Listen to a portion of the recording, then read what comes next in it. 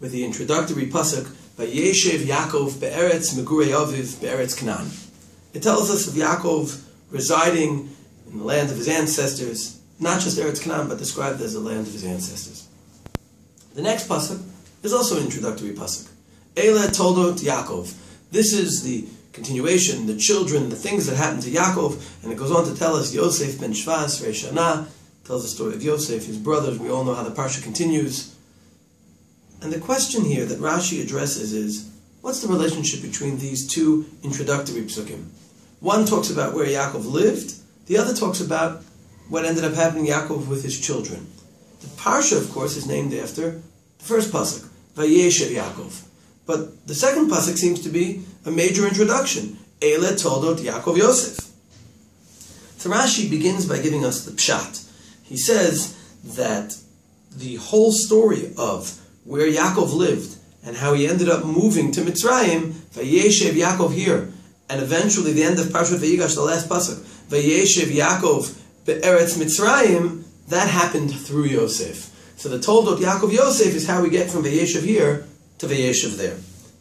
After telling us what Rashi calls Yishuv Pshuto Shel Mikra, Liot Davar Davur Al Ofanav, which is a broader sense of Pshat, fixing the whole story in its pieces, then Rashi says, Umedrash Agada Dorish. The Medrash Agada tells us lessons we can learn from this juxtaposition beyond the simple Pshat. And Rashi quotes a number of Midrashim. I'd like to relate to the last one. Rashi says, Va'od Nidrash Bo Vayeshev, Bikesh Yaakov Leshev Bishalva. Yaakov sought to live in tranquility, peacefully, after everything he'd been through. Kafatz Alav Rog Zoshel Yosef. And that's why he was jumped by the challenge, the story with Yosef. Rashi summarizes it as Tzadikim mivakshin leshev b'shalva. Tzadikim seek to live in tranquility. When that happens, Omer HaKadosh Baruch Hu, Hashem says to them, Lo dayon letzadikim mashemetukan lehem lo'olam haba. It's not enough what you have set aside for you for the next world. El shemivakshin leshev b'shalva ba'olam hazeh. You seek to have tranquility in this world? The Medrash that Rashi quotes sees the troubles that Yaakov experienced with Yosef and his other children. The whole continuation of these parshios as being caused by Yaakov seeking to reside reside bishalva with tranquility in peace. The obvious question is, why is that a problem?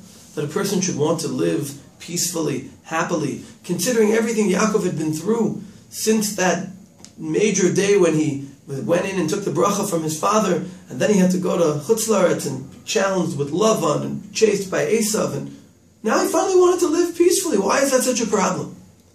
I think the answer here is very important, to a certain extent, very obvious. The Gemara in Brachos Daf Samach Dalet tells us, Talmidei Chachamim ein lehem menucha lo ba'olam hazeh v'lo ba'olam haba. Talmidei Chachamim don't have rest. They don't have menucha. Not in this world, not in the next world. Whatever it means about the next world, we don't know. But this world, we understand very well.